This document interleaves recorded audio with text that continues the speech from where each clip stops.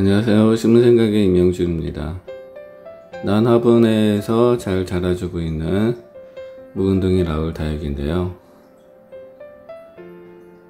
새 자구도 많이 나오면서 목대줄기도 커지고 잘 자라주고는 있지만 지금 보시는 것처럼 난 화분의 폭이 좁아서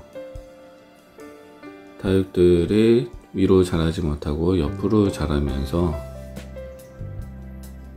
수영도 보기 좋지 않게 되고 일부 잎들은 노랗게 변하기도 하는 것 같아서 오늘 이 라울 다육을 난 화분에서 꺼내요 좀 더 넓은 화분에 심어서 대품으로 키워보도록 하겠습니다. 라울 다육은 잎이 조금만 건드려도 좀 떨어지고 있는 상태여서 잎이 떨어지지 않고 분갈이를 잘 해줘야 되는데요 이 상태에서 화분을 옆으로 해서 쏟아지게 되면 목대 줄기가 끊어질 수도 있고 잎들이 떨어질 수가 있어서 이 상태로 나무 젓가락을 사용을 해서 라울 다육을 꺼내 보도록 하겠습니다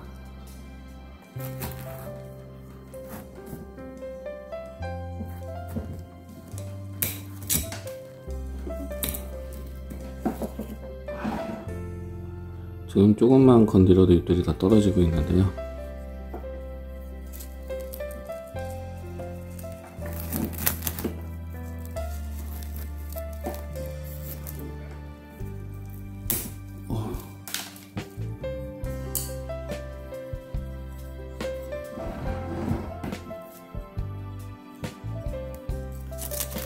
뿌리가 단단하게 박혀 있어서 나무 젓가락이 부러지고 있습니다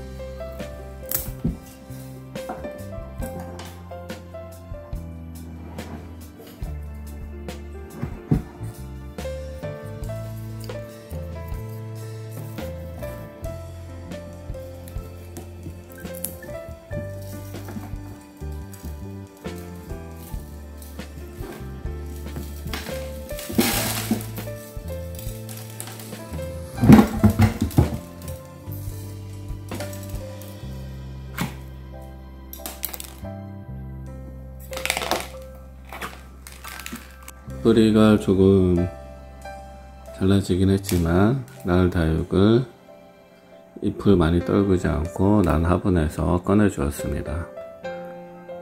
그러면 지금 이, 나, 이 다육을 좀 더 큰 화분에 다시 심어 주도록 하겠습니다.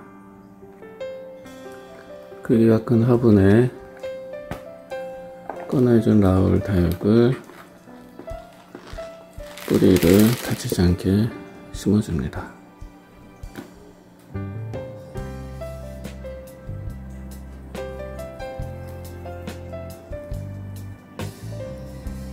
화분에 올려주는 라울 다육의 빈 공간을 흙을 넣어서 채워줍니다.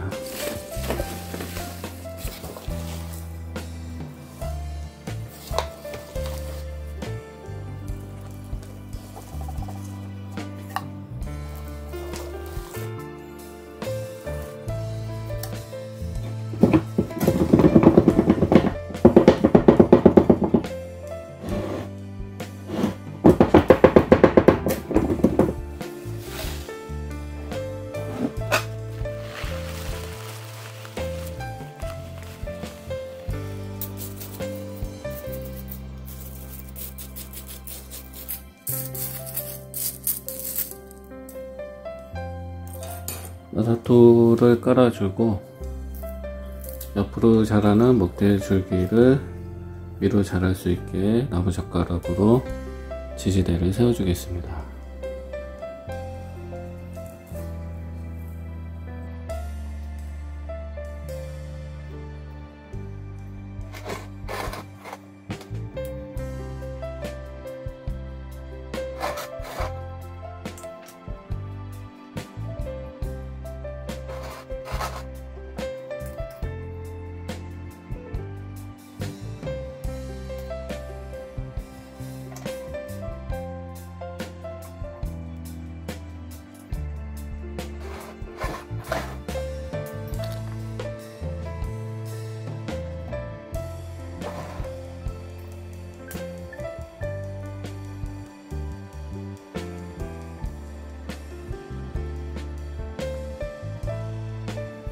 나무젓가락으로 지지대를 세워주고 라울 묵은둥이 다육을 큰 화분에 심어 주었습니다.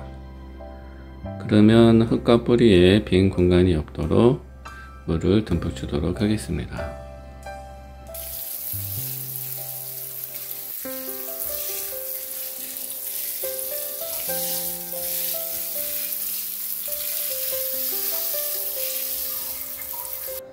폭이 좁은 나나분에 심어져 있던 가을 묵은둥이 다육을 꺼내서 폭이 큰큰 화분에 심어 주었습니다. 다행히 잎들과 목대 주기가 끊어지지 않게 잘 심어준 것 같고요. 물을 주고 나니까 더 생기가 살아나는 것 같습니다. 오늘 심어준 이 라울 부근둥이 다육이 몸살 없이 잘 자라줬으면 좋겠고요. 내일 노지 비닐하우스로 옮겨 주어서 다시 큰 대품이 될 수 있게 잘 키워보도록 하겠습니다. 앞으로 시간이 지나서 이 라울 부근둥이 다육이 자구가 더 많아져서 큰 대품이 되게 되면 영상을 찍어 보여드리도록 하겠습니다.